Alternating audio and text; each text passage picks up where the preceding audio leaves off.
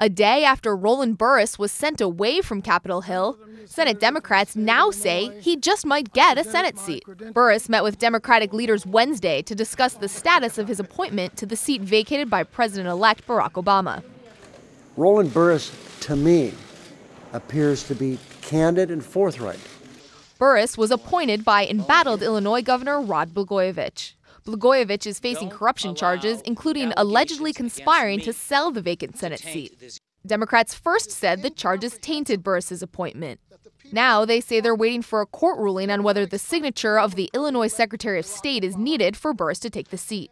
We believe that the certification by the Secretary of State is vital to apply Senate rules. Once that's done, once his hearing is completed tomorrow afternoon, we'll reassess where we are. Burris says he understands why Senate leaders are proceeding cautiously. They have to keep the integrity of the Senate, and they did not want to rush into anything and make a decision where they have to then be trying to reverse that.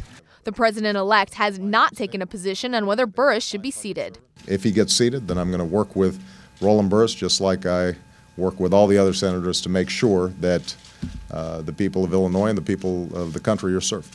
Senate leaders say it's likely the full Senate would eventually have to vote on whether to seat Burris. Julie Pace, The Associated Press.